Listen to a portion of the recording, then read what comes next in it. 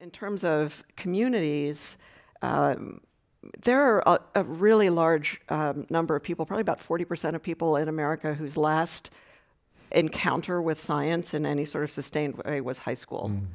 And in many, many parts of this country, and that tends to overlap with the places where climate change isn't well accepted, there really isn't any opportunity to engage with science. And, and so we equip graduate students in universities in those areas to go out and provide really fun, uh, hands-on science activities um, for people in the community.